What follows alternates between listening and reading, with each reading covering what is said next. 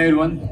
We just had the minister come over and uh, launch a great initiative, which is uh, showcasing different historical sites of Telangana. Right? Uh, after that, uh, minister got a chance to sort of look at our stall where he looked at the virtual reality based experience of, uh, of a monument, which is one of the most popular monuments in Hyderabad.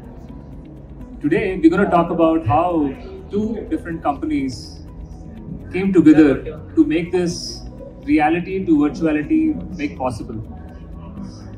So when we talk about virtuality, you know, reality becoming virtuality, it's not just about creating virtual experiences, but it is also about giving a new dimension to the reality of tourism. Right? It's not just about you know, virtual tourism, it's about adding a third dimension to tourism. So that's what Hexagon and Imaginate have come together to make this possible.